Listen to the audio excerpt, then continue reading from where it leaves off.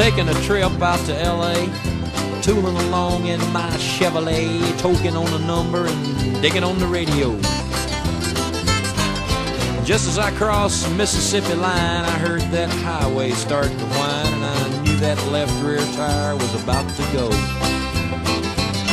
Well, the spare was flat, and I got uptight because there wasn't a filling station in sight, so I just limped on down the shoulder on the rim.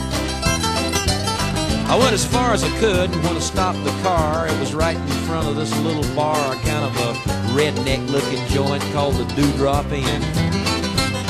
Well, I stuffed my hair up under my hat and told the bartender that I had a flat and would he be kind enough to give me change for a one. Well, there was one thing I was sure proud to see. There wasn't a soul in the place except for him and me, and he just looked disgusted and pointed toward the telephone. I called up a station down the road a ways, and he said he wasn't very busy today, and he could have somebody there in just about 10 minutes or so. He said, now you just stay right where you're at. And I didn't bother to tell the darn fool that I sure as hell didn't have any place else to go.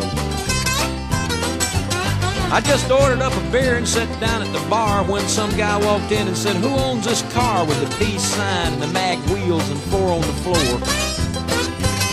Well, he looked at me and I damn near died, and I decided that I'd just wait outside, so I laid a dollar on the bar and headed for the door. Just when I thought I'd get out of there with my skin, these five big dudes come strolling in with this one old drunk chick and some fellow with green teeth. And I was almost to the door when the biggest one said, You tip your hat to this lady, son. And when I did, all that hair fell out from underneath. Now, the last thing I wanted was to get in a fight in Jackson, Mississippi on a Saturday night, especially when there was three of them and only one of me. But they all started laughing and I felt kind of sick. And I knew I'd better think of something pretty quick, so I just reached out and kicked old Green Teeth right in the knee.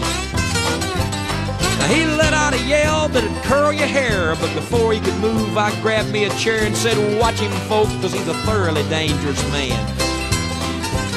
Well, you may not know it, but this man's a spy. He's an undercover agent for the FBI, and he's been sent down here to infiltrate the Ku Klux Klan.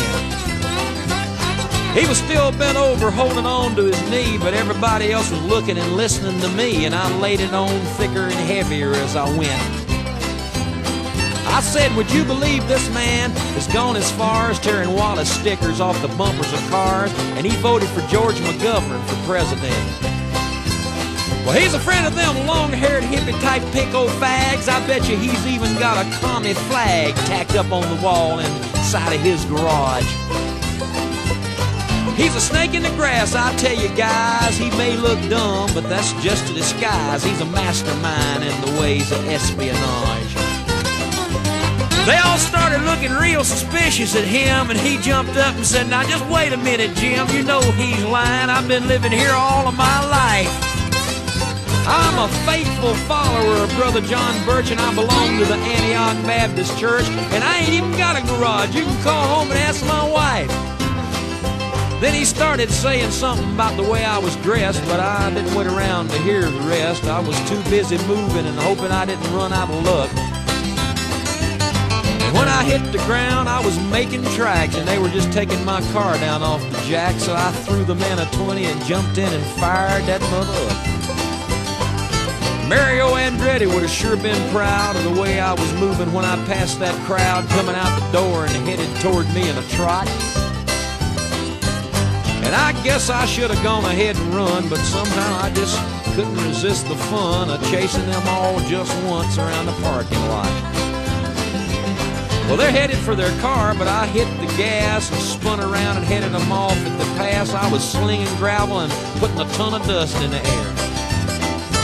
Well, I, I had them all out there stepping and fetching like their heads were on fire and their asses was catching, but I figured I'd better go ahead and split before the cops got there. When I hit the road, I was really wheeling, had gravel flying and rubber squealing, and I didn't slow down till I was almost to Arkansas. Well, I think I'm gonna reroute my trip. I wonder if anybody'd think I'd flipped if I went to L.A. via Omaha.